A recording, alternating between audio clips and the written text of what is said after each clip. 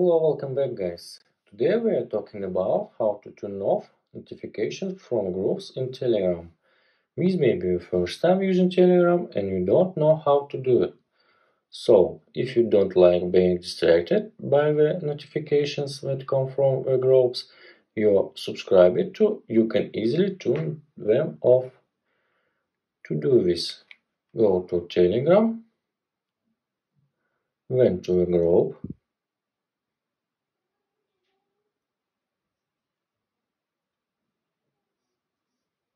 You can do this in two ways. In the first one, we just click on the mute button at the bottom. Or we can click on the three dots at the top. Mute.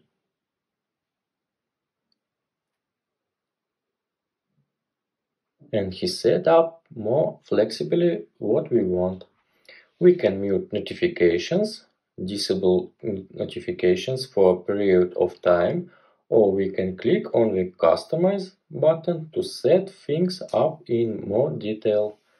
The last option disables notifications permanently until you turn them on yourself. That's it.